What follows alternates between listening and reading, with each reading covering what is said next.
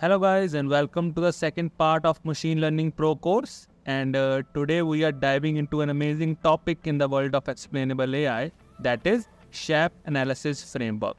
So don't worry if you are new to it. By the end of this video, you will have a clear understanding about what is SHAP analysis and how it used, why it matters and we also do a project by using the SHAP analysis to explain the predictions of a XGBoost uh, regression model.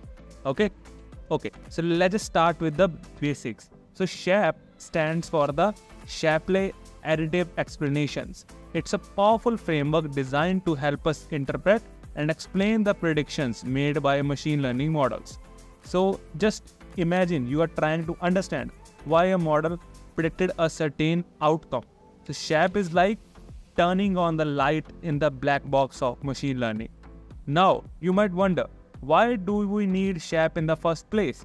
Well, as machine learning models become more complex by implementing the deep learning and other kind of complex frameworks as well, understanding their decisions become crucial.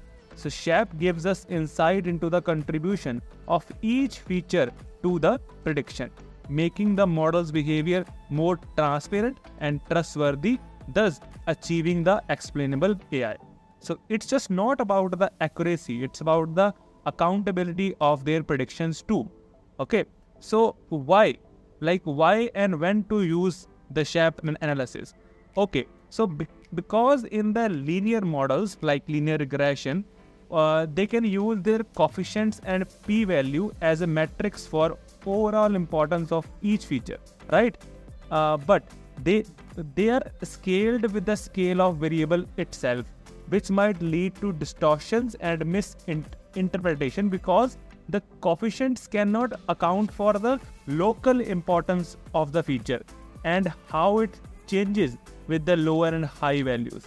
That means how model behaves when certain columns are having low values for the 10 rows but having high values for the next 10 rows. So in this kind of scenarios, how your model behaves. So you need to know. But in the linear models, this is very hard to explain. So in linear model case, we are using the uh, techniques like uh, uh, generalized linear models to interpret those models, but we are also using the SHAP analysis as well because that gives us a more uh, wider view of the feature importance. So in the tree-based model like decision tree, random forest, XGBoost, we use the SHAP analysis because it is useful for interpretability of those complex or tree-based models. Okay, so alright, let's break down the SHAP analysis work. So imagine you are working on a house price prediction project and each column has certain amount of contribution to the price of the house. So similarly, SHAP ass assigns a value to each of the column or feature showing how it influences the prediction or the price of the house. So it's like giving a credit where the credit is due. Okay. So guys, uh, here is the like project that I built by using the SHAP analysis and the XGBoost regression problem statement. And in this uh, problem statement, we take the data set of the California house pricing and we will use the SHAP anal analysis on our XGBoost model here okay the first thing i do is to import all the necessary libraries and also install the SHAP library as well and then i get the california house pricing uh, dataset split it into its test train and fit on my model. And then i just train my model on this dataset and after getting trained so now the SHAP analysis comes here. So now I need to know that the explainability of my XGBoost regressor model here. So for that kind of thing, I just plot the waterfall plot here. So this waterfall plot will show the importance of each variable. So the most important variable is longitude, latitude, average occupancy, uh, medicine houses, average rooms, and all this kind of uh, columns are there.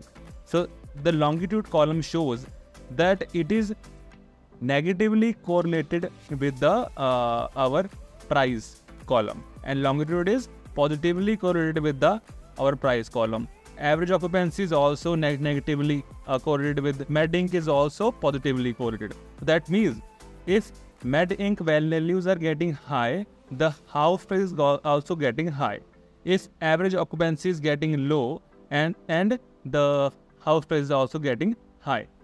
Okay, so in that way we can explain our model from this waterfall plot, here. And we can also like plot in some other values because this waterfall plot is only for a specific data point not for the all the data points in our data set. It is for a specific kind of a data point only. If the data point changes this plot also got changed.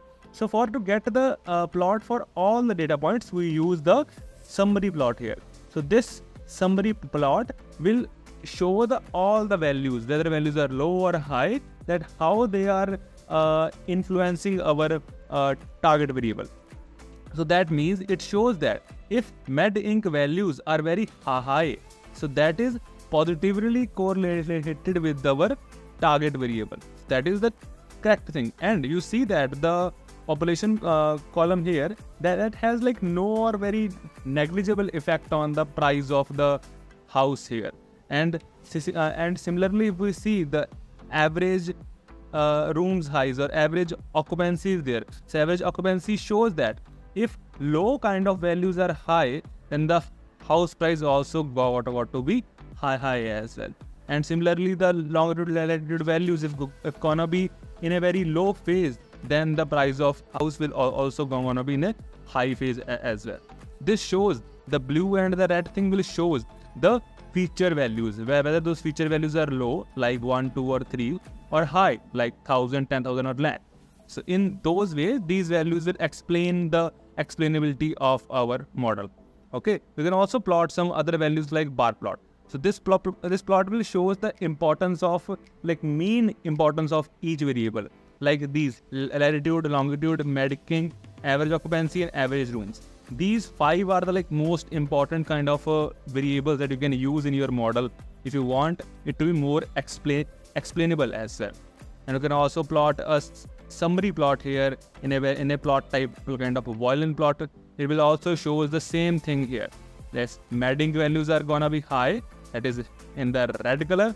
It will also influence the price of the house in a very positive way. Okay?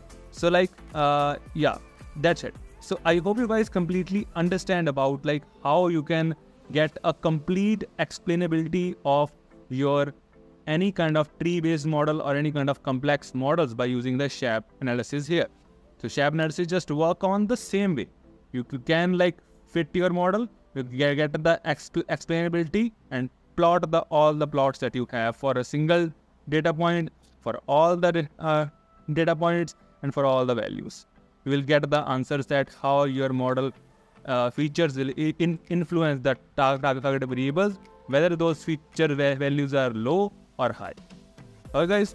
So in the next phase, we will see that uh, SHAP isn't always the answer. It shines with complex models, but for simpler ones, it will be a overkill. So for the simpler models, we need to use the stats model or the GLM models only. Okay, so before wrapping up, let's talk about the downsides of the SHAP analysis. So while SHAP gives us the insight, it might not reveal everything about a model behavior. Plus, it can be tricky to interpret for the non-technical audience. So if you are a non-technical background, you need to have a complete understanding of the model working in its mathematics. Only then you will be able to interpret the SHAP analysis plots. Okay, and there you have it an introduction to the fantastic world of SHAP analysis from understanding its purpose to getting hands-on with the code. Now you are equipped with building a machine learning models with explainable AI.